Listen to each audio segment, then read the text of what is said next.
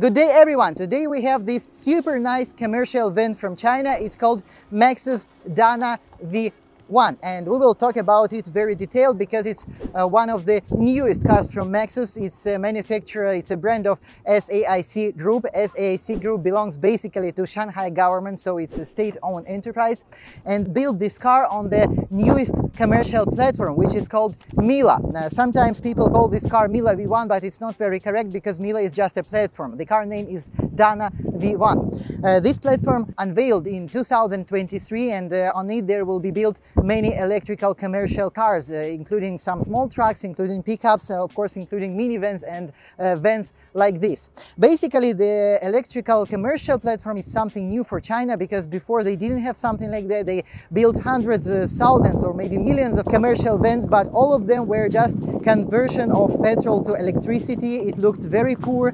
They also had some nice cars such as uh, Maxus EV30, basically the car which uh, was before this one and it's still in production. I also made review of Maxus EV30 and it was a nice car, but there was no, let's say, automobile platform. This car was built somehow as a self-made car using some metal profiles, using some panels, which is basically not automotive. And this is a truly automotive car with a lot of uh, stamp, uh, stamping materials, uh, pressing parts, uh, like a real normal car, like a Venue kind of Transit or uh, something like Volkswagen Transporter. This car is built in the same way. Today we will talk about technical specifications of this car. Today we will have a test drive and I will tell you about the version which this car have. By the way, this is Dana V1. This is the actual name of this car. This car, by the way, is prepared for export to our customers for abroad and now we are at the mm, parking, at the distributional logistical parking for cars which are uh, arriving to Shanghai from other places and then they go to port from here. It's like a consolidation platform. We also have some other our cars right here. Let's start from the technical specifications of this car and we start from the size. The most interesting is the number of versions of this car. Guess how many versions this car have? Maybe you think 5 or 10 versions? No. 14 versions for now on the official website. And I know that some versions are customized, made for, uh, for some clients, uh, some corporate clients by customization and you cannot even order them from the uh, Maxus dealer shop. There are different versions for the body of this car. The total length can be from 4,800 millimeters to 5,250 millimeters. The height can be of two versions with low roof 1,960 millimeters and with high roof same as this car is 2,180 millimeters and the wheelbase can be from 3,005 millimeters to 3,500 millimeters, almost half a meter of difference. The batteries can be different as well. We have batteries starting from 32 kilowatt hours uh, which is usable battery for some special uh, conditions of using these cars, for example, for some inter-factory um, transportation, up to 62 kilowatt hours in a, a higher grade uh, passenger and cargo passenger versions. This one is a 51 kilowatt hour battery uh, with the longest wheelbase high roof and this is the cargo version with only three seats inside. There are also two different options for motor. It's 90 kilowatt and 120 kilowatt. In this version we have 120 kilowatt which is 163 horsepower. Of course with smaller batteries you have smaller motors, with more uh, bigger batteries you have more powerful motors.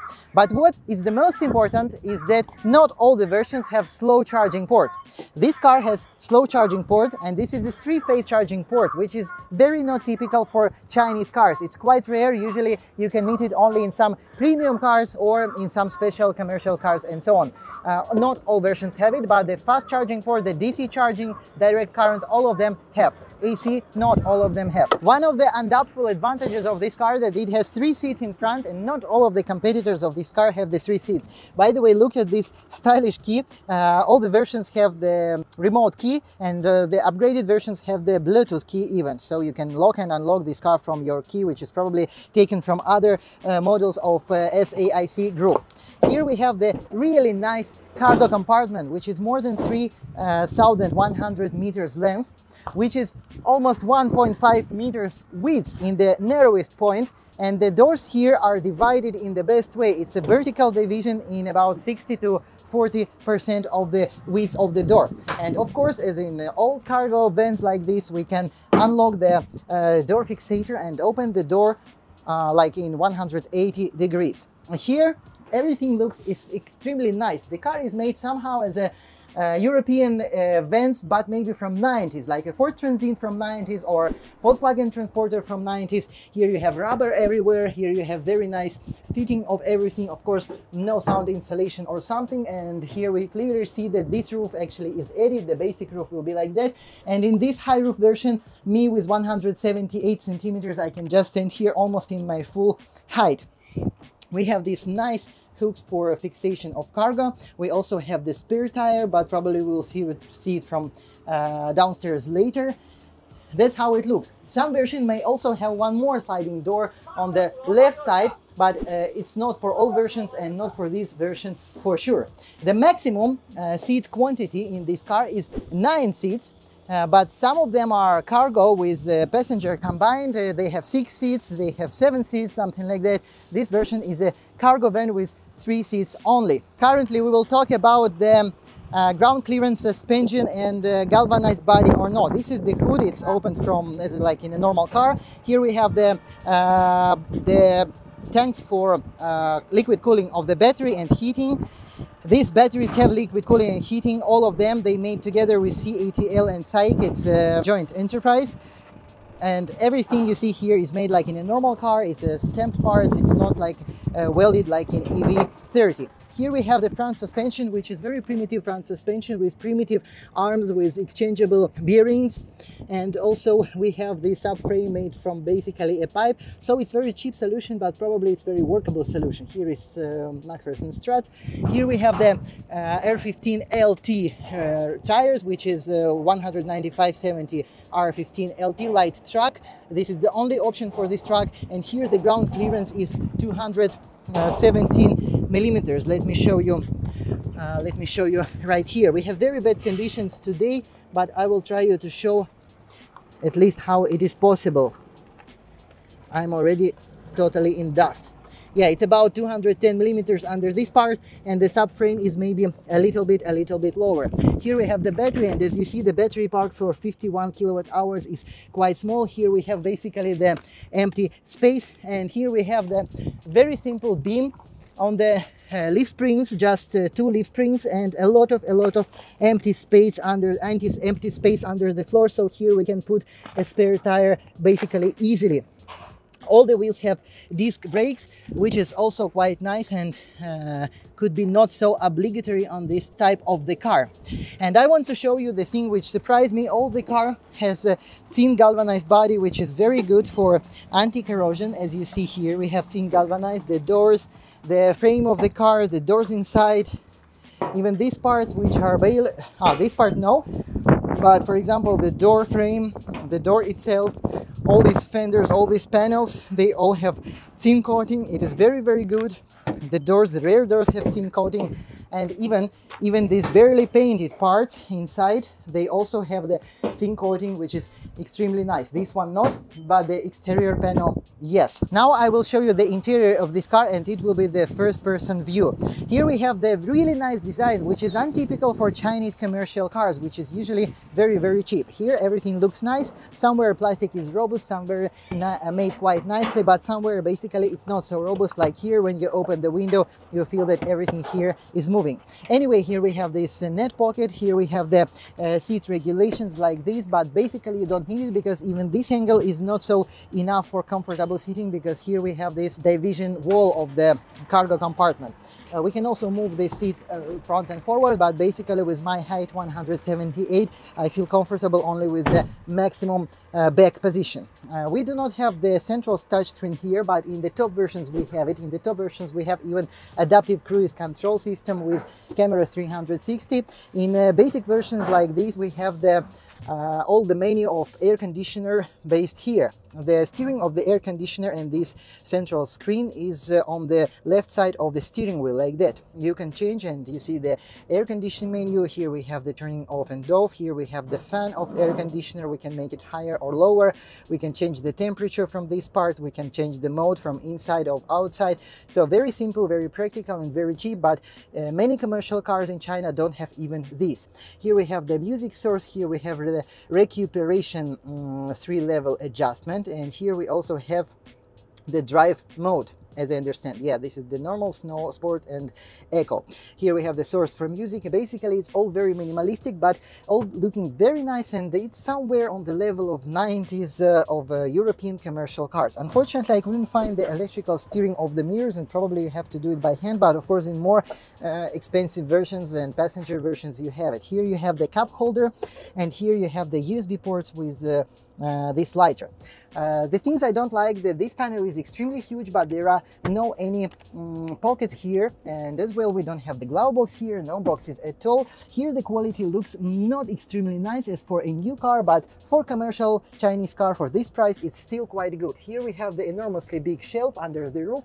This material is very very cheap is extremely cheap but still um, yeah it's, it's cheap and it's not nice but for commercial it's okay. Generally here is very comfortable. The super large windscreen the super large mirrors, very good view. And here we have mm, enormously large space, even for three people. Now I'm sitting on the middle, I feel comfortable, and now I'm sitting on the right side and I feel comfortable as well. All the versions have a rear view camera when you put into uh, rear mode driving as you see here. The quality of the camera is very poor, but at least you have it. Many commercial cars don't have it at all. The top versions have cameras 360, as I mentioned uh, before.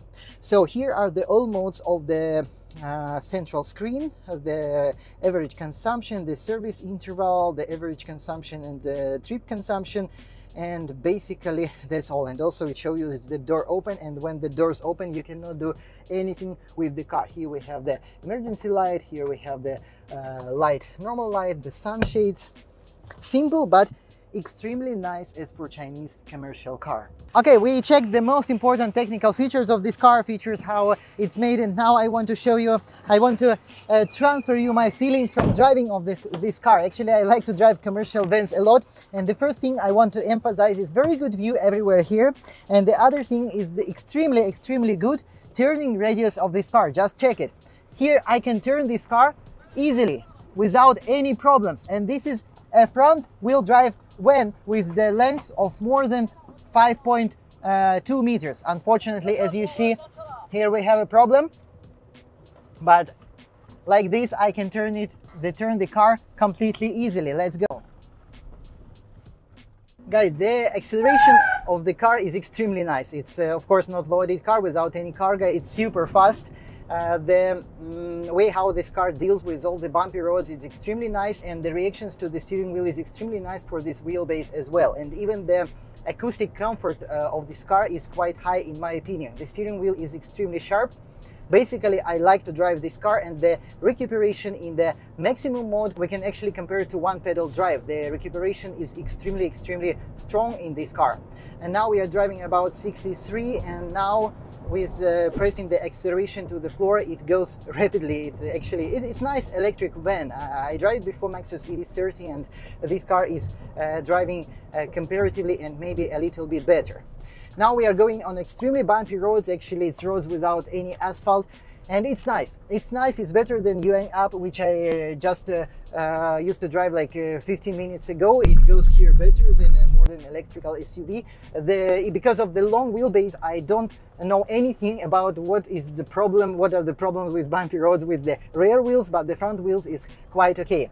Generally this is one of the uh, commercial cars which you can have uh, pleasure can get pleasure from driving it Okay, we've tested Maxus Dana V1 and I really like this car. I think this is the best commercial van in China, especially taking into account this price. I was uh, surprised by the galvanized body, fully galvanized body. It's very important for anti-rust protection. The battery here has liquid cooling and heating, which is very important and must have in 2024. Also, the cargo space is very nice and I was very uh, nicely surprised by the driving of this car. It's uh, sharp, the uh, way how it deals with bumpy roads is very nice and so on and the turning radius is very small. The several things I didn't like is the quality somewhere in the interior and I didn't like that there are no storage boxes basically just one shelf over the windshield but anyway the overall quality of the car the overall quality of production is compared to the European cars of the uh, 90s. About the prices, the price in the showroom of this car of basic version with small battery and small wheelbase is about 20,000 USD in China and the top version with the adaptive cruise control with the cameras 360 and 9 seats is about $30,000. But we have export discounts and for export this car is much much cheaper. Believe me, you can check the prices and contact me directly. In my opinion, they did extremely nice job and probably it will be a bestseller in its market segment and I've already seen many Dana V1 on the road. And now please uh, subscribe to my channel, hit the bell, of course push the like button and leave your comment if you like this video or not and what we would like to change in this video and also which next video you would like me to do for you. Uh, it was Denis, I love cars and have a nice day.